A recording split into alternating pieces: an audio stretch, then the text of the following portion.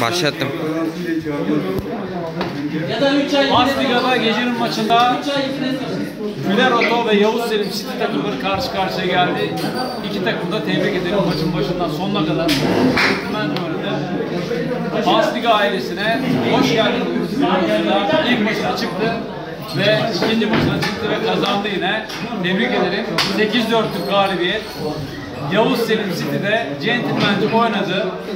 Bu akşam elinden geleni yaptı. Eksikleri de vardı ama Güler Oto istediğini hak etti bu akşam. Kazanmayı başardı.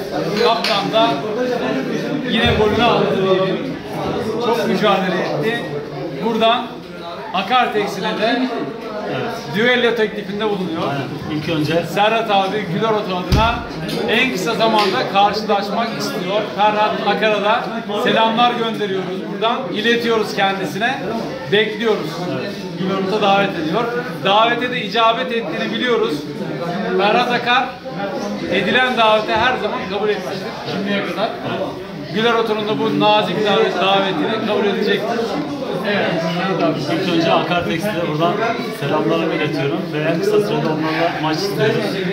Onlarla centilmence bir maç oynamak istiyoruz. Ee, biz de bu Pastik ailesine başlamış bulunuyoruz. İkinci maçımızı oynuyoruz. Geçen hafta başlamıştık. Geçen hafta birinci galibiyet, bu hafta ikinci galibiyet. İnşallah seri bir şekilde ilerlemek istiyoruz yani. Rakip takımı da tebrik ediyorum. Onlar da centilmence bir maç çıkardılar. Tabii tecrübemizle ileri uçtaki arkadaşlarımızın tecrübesiyle Yenilenmiş kadroyla kadromuzla artık tecrübemizle maçı kazanması bildik. İnşallah bundan sonraki maçlarda yeni adımlarla ilerleyip turnuvanın sonuna kadar namalip olarak ilerlemek istiyoruz. Hedef Türkiye şampiyonası diyor. İnşallah.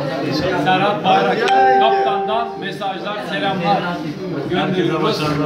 Bütün takımlara başarılar diliyorum Sayın Akşener.